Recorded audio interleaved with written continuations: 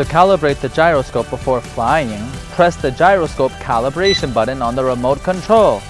The indicator light of the aircraft flashes for 3 seconds.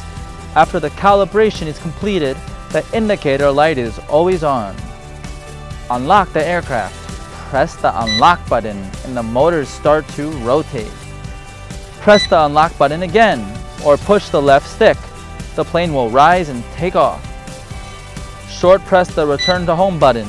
The aircraft will return to the takeoff point for landing.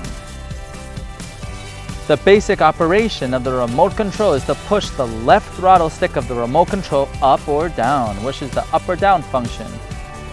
Flick the left throttle stick to the left or right to turn left or right. To push the right direction stick up or down, it is forward or backwards. Push left or right to the left and right to fly.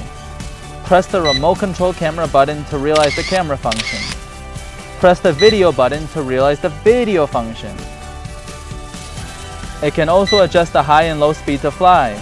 Press the remote control speed switch button to easily deal with different winds. So during the flight, you can push the gear on the remote to adjust the camera angle.